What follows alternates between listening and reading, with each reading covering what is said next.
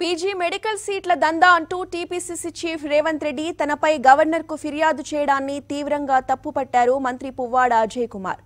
తప్పుడు ఫిర్యాదులు చేయడాన్ని తీవ్రంగా ఖండిస్తున్నానన్నారు. ఖమ్మంలో ఇరవై ఏళ్ళుగా నడుస్తున్న మమతా మెడికల్ కాలేజ్లో పీజీ అడ్మిషన్లు అత్యంత పారదర్శకంగా జరుగుతున్నాయన్నారు.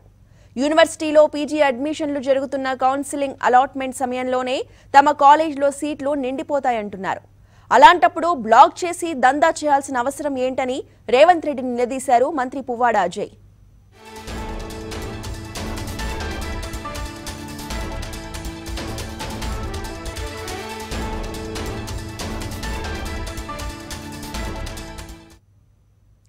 రేవంత్ రెడ్డి ఆరోపణల్లో ఏమాత్రం వాస్తవం లేదన్నారు మంత్రి పువ్వాడ అజయ్ కుమార్. ఇది పూర్తిగా నిరాధారమన్నారు.